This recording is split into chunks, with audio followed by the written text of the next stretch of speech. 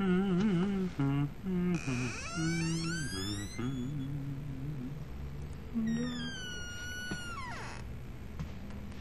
know what you're thinking, Tony. How the mighty have fallen.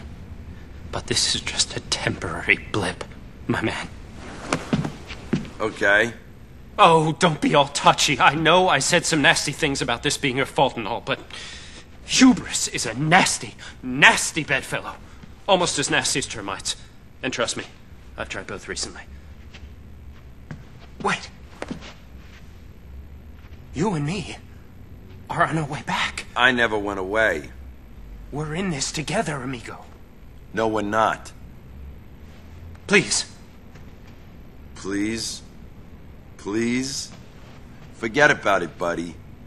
It's all your fault? Pathetic. 10%. 10% of what? This? Oh, you're too kind. Not of this. Of something really big. Come. I'll tell you about it on the drive. I hope you have your car. Mine's in the, uh, uh, shop. Yeah.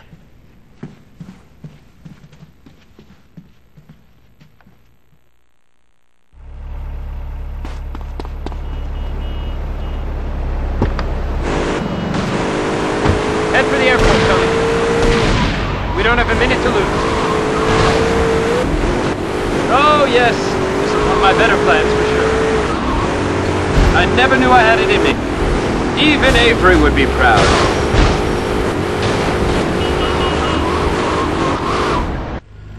Tony, my ex-mentor, Avery Carrington, is flying into town today.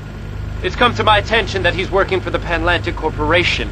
They'll do anything to get Prime in the state. I'm late to meet the boss! Come on, Tony, get after him.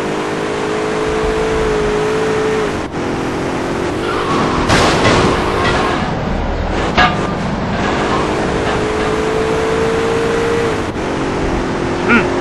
Panlantic must have employed the cartel to protect Avery. That fool get a license.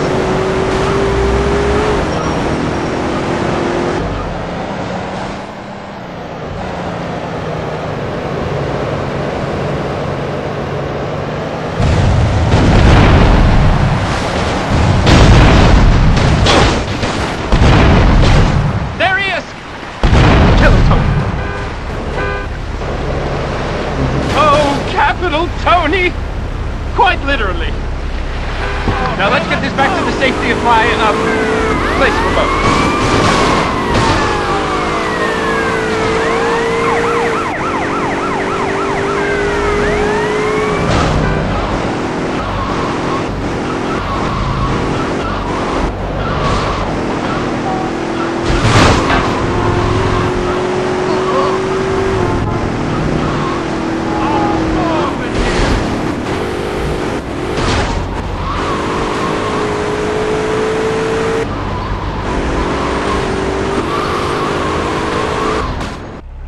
This is gonna make me a fortune.